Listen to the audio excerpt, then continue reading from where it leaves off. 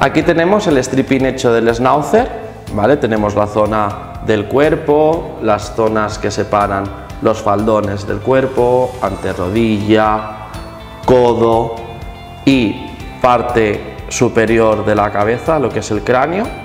Y ahora lo que vamos a hacer va a ser las zonas flatwork, lo que son orejas, mejillas, cuello y cuartos traseros. Vale, pues para hacer las zonas flatwork vamos a utilizar una cuchilla de 1,8 tanto para hacer cuartos traseros, orejas por dentro y por fuera, mejillas y cuello.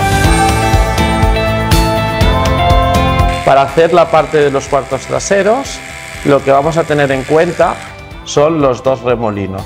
Entonces haríamos una línea interior desde el remolino hasta la anterrodilla.